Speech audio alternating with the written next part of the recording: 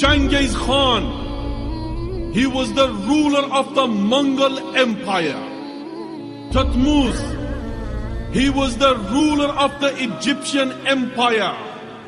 Darius, he was the ruler of the Persian Empire. Alexander, he was the ruler of the Macedonia Empire. Napoleon, he was the ruler of the French Empire. Pompeius, he was the ruler of the Roman Empire. Julius, he was the ruler of the Republic of Roman Empire. And from amongst the companions, there was a soldier. There was a commander. There was a conqueror.